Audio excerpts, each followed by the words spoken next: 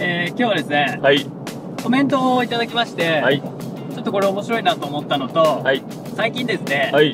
技工士の話題ばっかりだったので、はい。ちょっと患者さん向けにもやってみたいなということで、はいこのコメントを読みたいと思います。はい。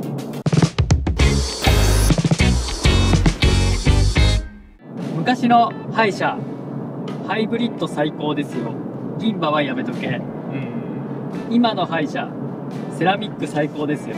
キャドカムはやめとけ。はい。こういうコメントいただいたんですけれども、はい。まあ今だったらこうやって進められるだろう的なことで多分書いてくれたんだとは思うんですが、はい。ちなみに、はい。幸之助だったら、はい。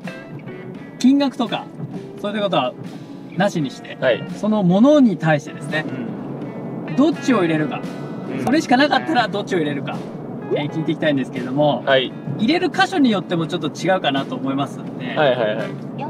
前歯と臼歯で分けて、はい。どっち入れますかっていうのを聞いていきたいと思います。はい。ハイブリッドってこれ何ですか？えっ、と、レジンですね。ハイブリッドレジン。はい。はい。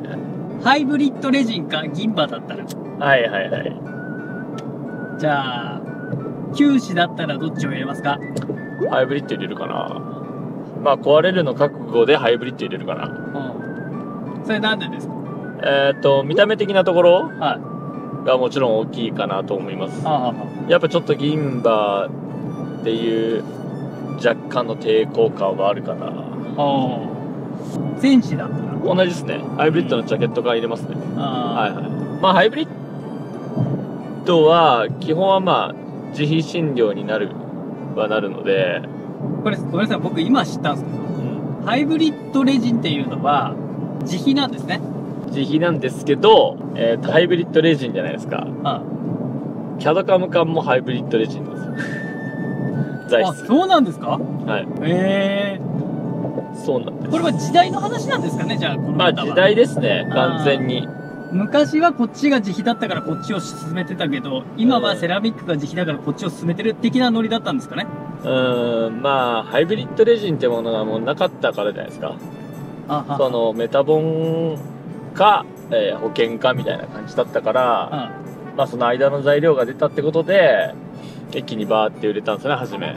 いやまあハイブリッドレジンか銀歯しかなかったらハイブリッドレジン入れるよっていうことですねそうですね、僕は入れるかな。で、壊れた時考えるって感じですかね。あはいはい。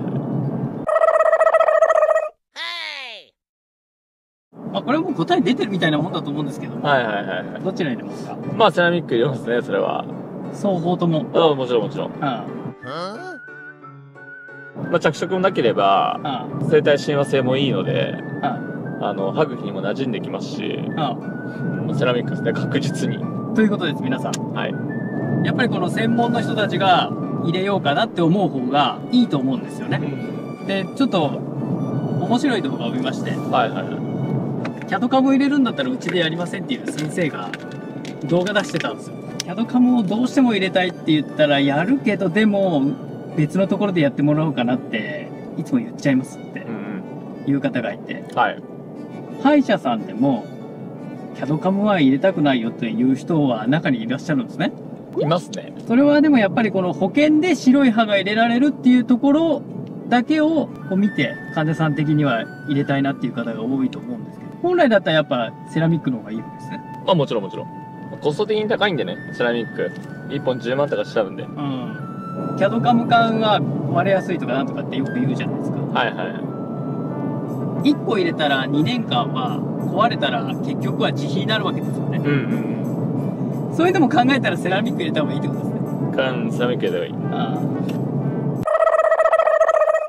もちろんコスト的な問題はありえますけど、ありますけど、あ。はい。えー、今後ね、やっぱ、ずっと使うものじゃないですか、歯って。うん。死ぬまで。はい。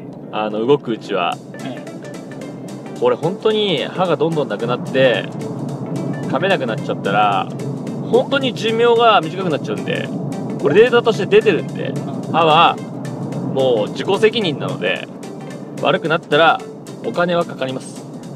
そうですね。うん。そして、やるなら、やっぱり、えー、とお金がかかる治療でやった方が絶対いいです寿命お金で買うことできないじゃないですそうですね。かはいなのでそこはお金かけていいかなと思いますはい。これ別に営業してるわけじゃなくってうん。幸之助はそう思うということですね。そう思います、はい。ということではい。今日はこんな感じで終わります、はいありがとうございましたありがとうございます。